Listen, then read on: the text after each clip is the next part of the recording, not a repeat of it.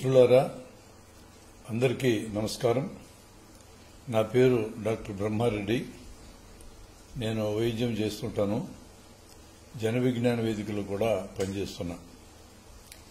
Corona virus వలన ప్రపంచమంతా వణికిపోతున్న సందర్భంలో ఇప్పటికీ కూడా చాలామందికి చదువుకున్న వారికి కూడా దీని గురించిన జాగ్రత్తల్లో సరిగా సరైన అవగాహన లేదనిపించి ఎందుకంటే పదే పదే నాకు ఫోన్లు చేసి అడుగుతున్నారు. ఈ చిన్న వీడియోని వారందరి సౌకర్యార్థం నేను పెడుతున్నా. కరోనా వైరస్తో మరణాలు చాలా ఉన్నా ఇది చాలా వైరస్ల కంటే ప్రమాదం తక్కువ ఉన్న వైరస్. నూటికి ఎనభై ఒక్క మందికి అసలు ఈ జబ్బు వచ్చినట్టే దాదాపు తెలియకుండా బాగైపోతుంది. లేదా కొద్దిపాటి లక్షణాలతో బాగైపోతుంది. ఏదో చిన్నపాటి జ్వరమో జలుబో అనుకుంటాం ఈ లోపల తగ్గిపోతుంది. నూటికి పద్నాలుగు మందికి కొంచెం లక్షణాలు పెరుగుతాయి కానీ చివరికి నయమై మామూలుగా అవుతారు. నూటికి రెండు నుంచి ఐదు మధ్యలో ఈ సంఖ్యకు మాత్రమే ప్రమాదం. అదే సమయంలో జాగ్రత్తలు తీసుకోవడం అనేది తప్పనిసరి. మూడే మూడు ముఖ్యమైన జాగ్రత్తలు ఉన్నాయి.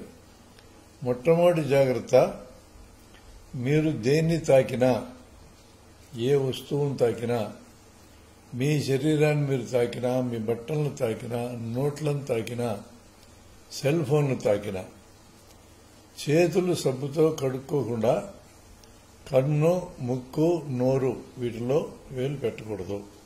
అప్పుడప్పుడు కన్ను దురదనిపిస్తుంది నలపాలనిపిస్తుంది. తప్పనిసరిగా చేతులు కడుక్కోవాలి. ఈ వైరస్ దగ్గినప్పుడు తుమ్మినప్పుడు గాలిలో కలుస్తుంది కానీ గాలిలో ప్రయాణం చేయదు. ఈ తుంపర్ల ఆధారంగా ఈ వైరస్ పాకుతుంది. తుంపర్లో నేల మీద పడగానే వైరస్ కూడా నేల మీద వస్తువుల మీద పడుతుంది. కాబట్టి వాటిని తాకినప్పుడు మన చేతుల గుండానే మనకి జబ్బు వచ్చే అవకాశం అనేది ఉంది. చర్మం ద్వారా ఈ వైరస్ శరీరంలోకి పోదు. ఇది మొదటి అంశం. రెండవ జాగ్రత్త ముక్కుకి నోటికి మాస్క్ పెట్టుకోమని చెబుతున్నారు ఈరోజు బయట దొరికే మాస్కులు మామూలు మనుషులకు అనవసరమో కరోనా రోగులకి వైద్యం చేసే వైద్య సిబ్బందికి పనిచేయవు. కాబట్టి సులభమైన మార్గం నేను చెప్తా. ఇది నాప్కిన్ ఈ నాప్కిన్ ఇలా మూలకు మడతేయండి. దీన్ని ముక్కుకి నోటికి అడ్డంగా కట్టేసి వెనుక ముడేసుకోండి. ఇది చాలా సులభమైన పద్ధతి. దీన్ని ఎప్పుడు కావాలంటే అప్పుడు ఉతికి ఆరేసుకోవచ్చు. నాలుగైదు తీసుకొని దగ్గర ఉంచుకొని ఎవరి వాళ్ళు విడిగా వాడుకోవచ్చు. రోజుకు ఒకసారి ఉతికేయచ్చు లేదా తడిసి నానిపోతే ఉతికేయచ్చు.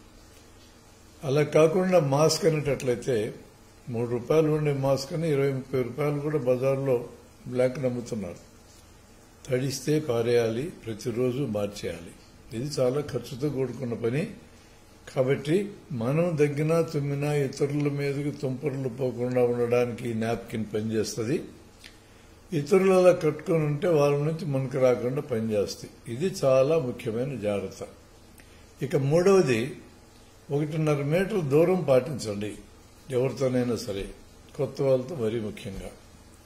ఈ దూరం పాటించడం ఎందుకంటున్నామంటే దగ్గినప్పుడు తుమ్మినప్పుడు ఈ తుంపర్లు ఒక మీటర్ దూరం పడతాయి. ఇంకో అర్ధ మీటర్ ఎక్కువ దూరంలో ఉంటే ఒకవేళ పొరపాటును మనం మాస్క్ లేదా నాప్కిన్ కట్టుకోకపోయినా మీదొచ్చే ప్రమాదం లేకుండా ఉంటుందన్న ఉద్దేశంతో దూరం చెప్పాం. అంటే మూడు పాయింట్లు అక్కడ. చేతులు కడుక్కోవడం నాప్కిన్ ముఖానికి అడ్డం కట్టుకోవడం భౌతికమైన దూరాన్ని పాటించడం ఎప్పటికైనా ఈ మూడు మాత్రం కొనసాగించాల్సిందే. లాక్డౌన్ ఉన్నా లేకపోయినా జబ్బు ఒకవేళ తగ్గినా మరలా మరలా రాకుండా ఉండాలన్నా సరే ఈ జాగ్రత్తలు తప్పనిసరిగా పాటించాలి. ఏ కొద్దిపాటి జ్వరం వచ్చినా ఇది కరోనా జబ్బని భయపడతా ఉన్నారు జనం. కాబట్టి జ్వరం వచ్చినప్పుడు మీరు మీ డాక్టర్ని సంప్రదించండి. లేదా ఇప్పుడు నేను చెప్పే విషయాలు గుర్తుంచుకోండి. జ్వరము దగ్గు ఒళ్ళు తలనొప్పి చాలా జ్వరాలు ఇట్లే వస్తాయి. కరోనా జ్వరం కూడా ఇట్లే వస్తుంది. దీన్ని ఈ మాత్రం లక్షణాలే ఉంటే పట్టించుకోవద్దండి. నొప్పులు ఎక్కువ ఉంటే పారాసిటమాల్ మాత్రం వేసుకోండి లేదా అది కూడా అక్కర్లేదు. ఇంట్లో ఉండండి. మీకు ఇల్లు ఉండి రెండు మూడు గదులు ఉంటే గదిలో ఉండండి. మీరు చేతులు కడుక్కోవడం ముఖాన్ని గుడ్డ కట్టుకోవడం దూరం పాటించడం తప్పదు. మీ ఇంట్లో అందరూ దీన్ని పాటించాలి. ఒకటే గది ఉంటే ఒక గదిలో మూలలు ఉండండి ఈ దూరం పాటించండి. మీ వస్తువులు ఇతరులు వాడకూడదు ఇతరుల వస్తువులు మీరు వాడకూడదు. ఇల్లే లేదనుకోండి అప్పుడు కూడా సబ్బుతో చేతులు కడుక్కోవడం తప్పనిసరిగా చేయండి ముఖాన్ని గుడ్డ కట్టుకోవడం చేయండి.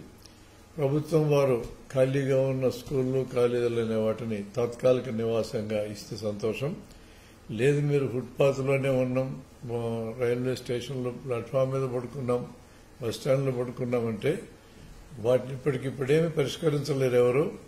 కానీ ఈ చేతులు కడుక్కోవడానికి ఒక సబ్బు ముక్క దగ్గర ఉంచుకోండి ఒక నాప్కిన్ దగ్గర ఉంచుకోండి దూరం పాటించండి. ఈ మూడు చేయడానికి ఎటువంటి అభ్యంతరం లేకుండా ఉండాలి. జ్వరం ఐదు రోజుల లోపల తగ్గిపోతే మీరేం పట్టించుకోవద్దు. ఈ నూటికి ఎనభై ఒక్క మందికి తగ్గిపోతుందని చెప్పాను. కానీ వాళ్ళు ఇతరులకు జబ్బు అంటించగలరు కాబట్టి ఈ జాగ్రత్తలు పాటించాల్సిన అవసరం ఉంది. ఒకవేళ ఐదు రోజులకు తగ్గకుండా అదే స్థాయిలో లక్షణాలు పది పదహైదు రోజులు ఉన్న లక్షణాలు పెరగకపోతే మీరు ఈ వైద్యమే చాలు మీరు ఎక్కడ పోవద్దు మీ ఇంటి దగ్గరే ఉండండి. లక్షణాలు పెరుగుతూ ఉంటే అంటే కడుపు నొప్పి కానీ విరేచనాలు కావడం నా రుచి వాసన తెలియకుండా ఉండడం ఇలాంటి లక్షణాలు ఏమైనా వస్తే ఆయాసం కానీ దగ్గుతో గళ్ళ కానీ ఇలాంటి లక్షణాలు వస్తే ఒకసారి డాక్టర్కి చూపించండి. కరోనా వైరస్ ఉందేమో పరీక్ష చేస్తారు. ఒకవేళ వైరస్ ఉన్నా సరే వాళ్ళని ఐసోలేషన్ చేయటమే మార్గము. ఆ నూటికి పద్నాలుగు మంది అన్న నా గ్రూపులో పడతారు. ఐసోలేషన్ ద్వారా బాగవుతారు అంటే విడదీసించడం ద్వారా బాగవుతారు తిరిగి ఇంటికి వస్తారు. ప్రమాదం ఎవరికి అంటే ఎక్కువ వయసు ఉన్నటువంటి వాళ్ళకి వాళ్ళకి షుగర్ జబ్బు బీపీ జబ్బు మూత్రపిండాల జబ్బు క్యాన్సర్ జబ్బు హెచ్ఐవి జబ్బు కార్టికోస్టెరాయిడ్స్ అనే మందులు వాడుతున్న సందర్భము అవయవ మార్పిడిలో కొన్ని మందులు వాడుతూ ఉంటారు. ఇలాంటి ఇతర జబ్బులు కలిసి ఉన్న సందర్భంలోనే ఈ ప్రమాదం ఉన్నది. ఇప్పటి వరకు ప్రపంచంలో మరణించిన వాళ్ళు ఎక్కువ మంది ఇలాంటి జబ్బులు ఉన్నటువంటి వాళ్ళే. కాబట్టి ఆరోగ్యవంతులు మా రోగనిరోధక శక్తి సరిపడా ఉన్నటువంటి వాళ్ళు ఎక్కువ భయపడాల్సిన అవసరం లేదు. అదే సమయంలో ఈ మూడు జాగ్రత్తల్ని సీరియస్గా పాటించండి. మనకి ఇతరుల నుంచి జబ్బు రాకూడదు మన నుంచి ఇతరులకు జబ్బు మనం అంటించకూడదు. వీడియో నచ్చిందా? అయితే ఓ లైక్ వేసుకోండి లేదంటే ఓ కామెంట్ చేయండి. ఎప్పటికప్పుడు మా వీడియోస్ చూడాలంటే సబ్స్క్రైబ్ చేసుకోండి.